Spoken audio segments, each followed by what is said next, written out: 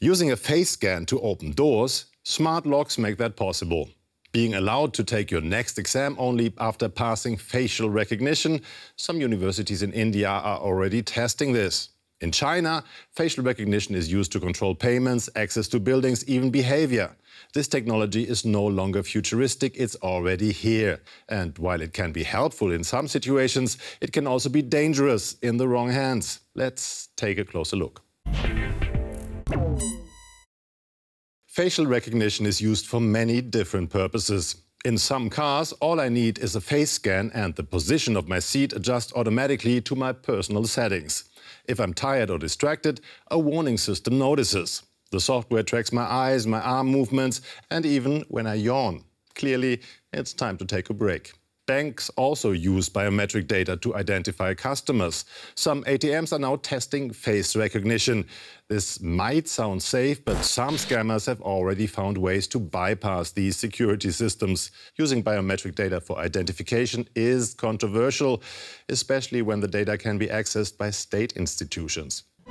When authoritarian regimes use facial recognition software, the need for clear laws becomes obvious. Misidentification, vague rules around data collection and a lack of transparency are major concerns. In China, the government stores its citizens' biometric data on centralized servers.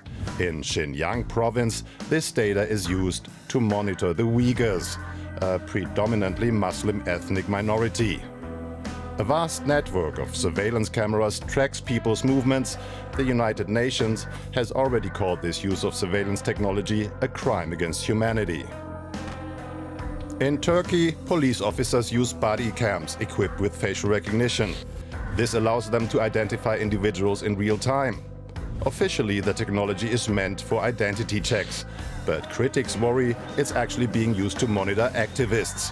Under both Turkish and EU law, this kind of sensitive personal data is subject to special protections. That means police need a legal basis or explicit consent to collect it.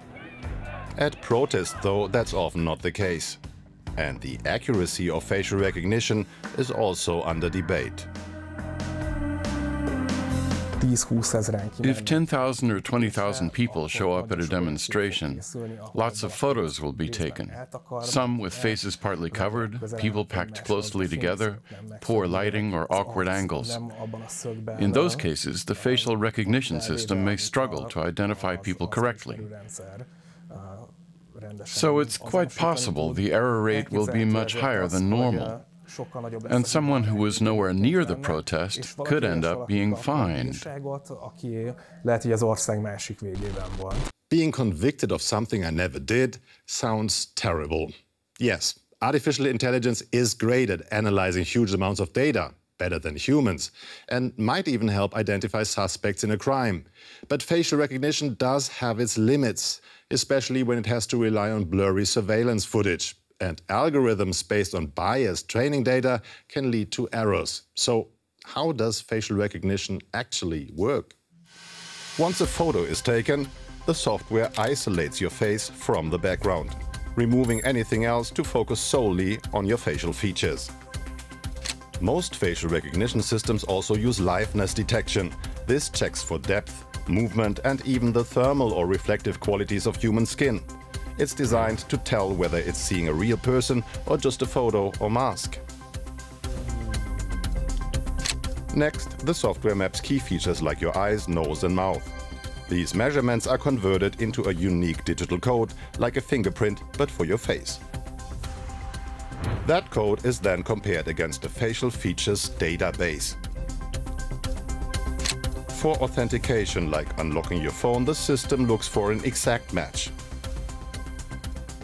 For identification, like finding a suspect in a police database, it searches for the closest match instead.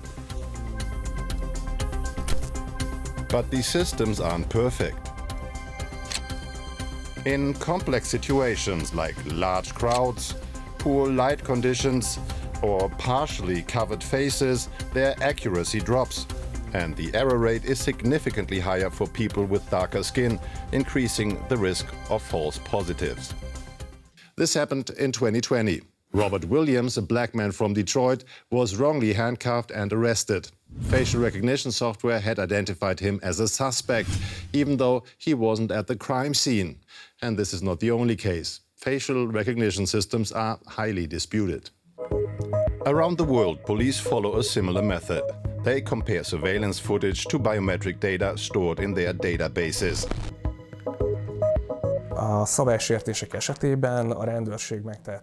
Police can request facial image analysis automatically, with no oversight.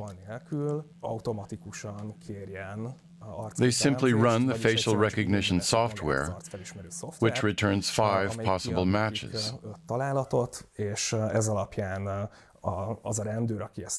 Then, on the basis of those hits, the officer chooses the one they think most resembles the person they're looking for. In essence, the software suggests options. It doesn't deliver foolproof results. A human decides whether the image from the camera matches the database entry. But without additional evidence, this method clearly falls short. Automatic facial recognition to identify people suspected of crimes is also controversial in Hungary. Authorities there can even use it at demonstrations to stop crimes before they happen. But what do ordinary citizens think about this? Everyone has rights. Facial recognition violates my freedom. Public cameras can help catch offenders. I think that's a good thing. The powerful can easily abuse it. It's really frightening and a bad development. These methods are used in China and North Korea.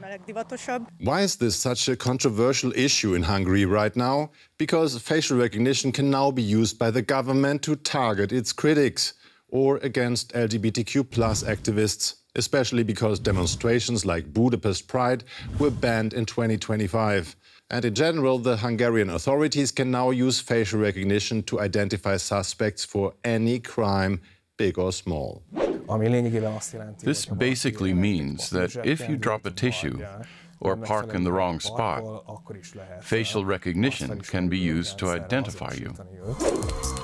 The widespread use of facial recognition, even at protests, has drawn heavy criticism. Human rights organizations are particularly concerned about Hungary.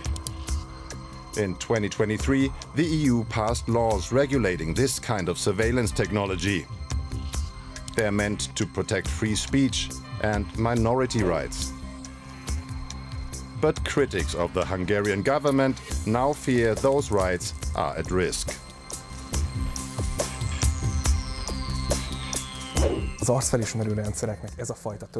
If it's being used to suppress demonstrations, then this kind of mass surveillance using facial recognition technology clearly goes against the Hungarian constitution.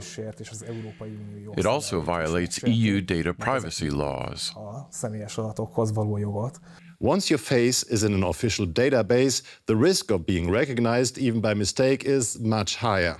Some activists try to confuse the cameras by wearing special makeup. Some wear clothes like hoodies with oversized hoods or jackets made with reflective materials. Others experiment with patterns, for example, QR code prints, or even garments that trick the software into thinking you're an animal. Do these tricks actually work? We don't really know, because state authorities rarely share how their systems and surveillance methods work, or when, if ever, the data gets deleted. In China, avoiding state surveillance has become nearly impossible. Over 700 million cameras record everything day and night. Nowhere else does the government have access to so much digital information about its citizens. And what is this data used for? Besides surveillance, it's even been reported that it's being sold. Cameras are seemingly everywhere in the Chinese city of Shenzhen. Estimates suggest that more than 5.7 million cameras are installed here, making it the most closely surveilled city in China. Facial recognition has become part of daily life. Whether you're taking the subway or paying for tickets, data is constantly being collected. This technology is now a core element of China's ever-expanding state surveillance system.